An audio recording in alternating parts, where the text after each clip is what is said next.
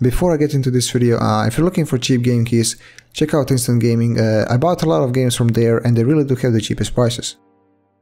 Hey what's up guys, Skuez here. Uh, so today we're gonna compare uh, Patriot, Viper, uh, VPR, 100 RGB with Samsung 970 EVO Plus. Uh, here you can see their specifications if you're interested and without further ado, let's see the benchmarks.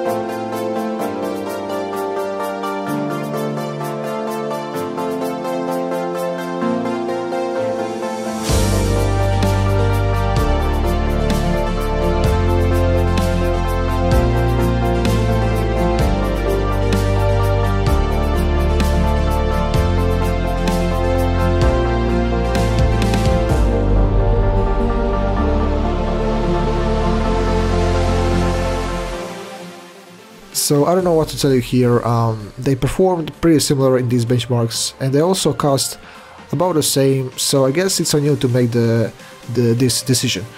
Uh, thank you guys so much for watching. Uh, please leave a like, uh, comment, subscribe to my channel, and I will see you guys next time.